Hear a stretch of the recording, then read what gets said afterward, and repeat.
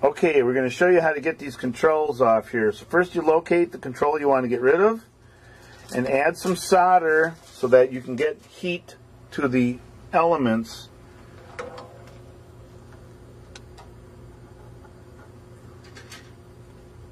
So we're adding a little solder to what's there. A little flux always can help too. Now we need to get a little tension.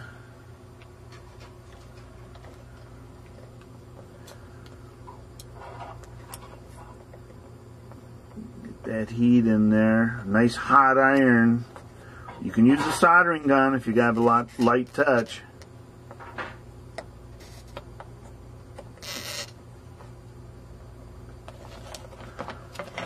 Okay. We have it rocked off the two holders. Back and forth, back and forth. And there it comes. Clean off the tabs a little bit. You're all set to go. I hope that helps. Let's do one more. Oh yeah, solder wick. Now we got to clean the holes out so we can get the new one in place. This is pretty tricky. Scribe it a little bit. Expand it a little bit. Lots of heat.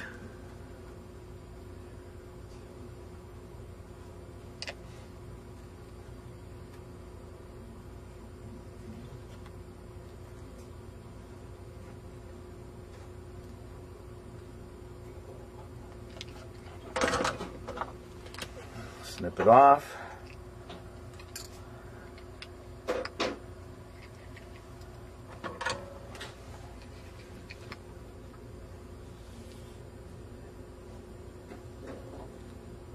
Mm, There's two. Solder wick. Got it. It helps if it's fresh. If not, you need to scribe it to try and get some of the oxidation off it. There we go. Everything's clean and ready to go. All right. There we go. Well, let's take one more look at where, where is it? Where is it? There it is.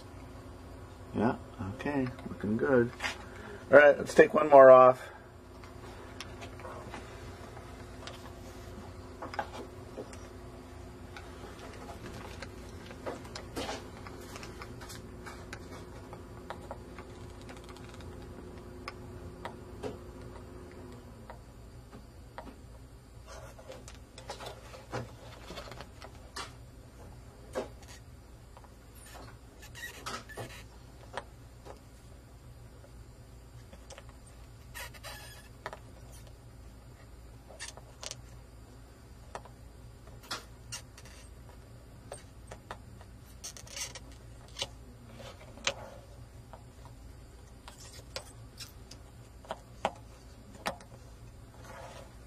There we go.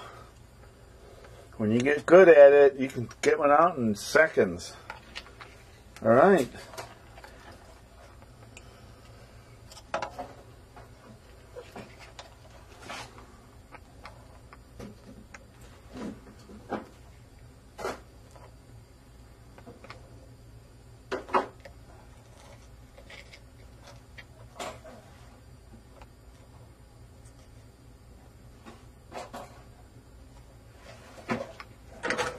All right, I'm going to call that it.